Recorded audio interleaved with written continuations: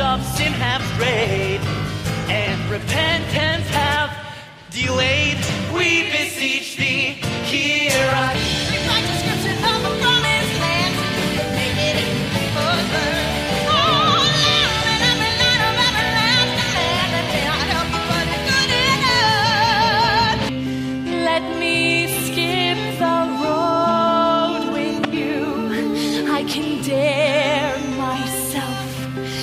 changing day.